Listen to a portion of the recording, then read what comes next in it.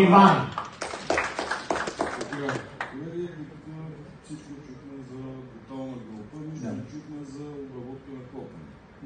Добре. И след като има щети в буталата, горе няма как да няма щети. Да.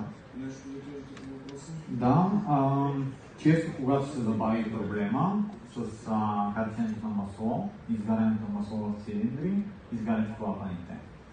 А, това, което ви препоръчвам, има клапани, които са альтернативни.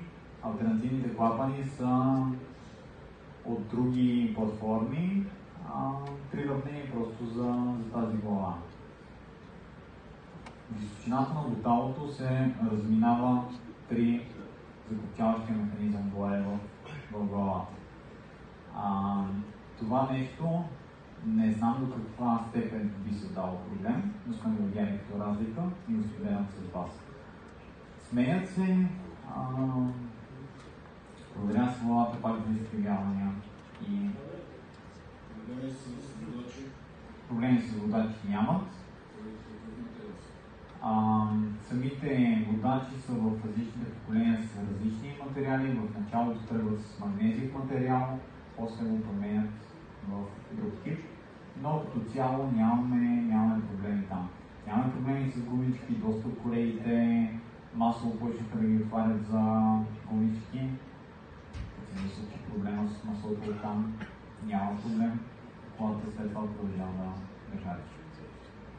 Ам, Водачите на някои от моделите глави са извяти към самата глава. Ремонтни клапани, Моля.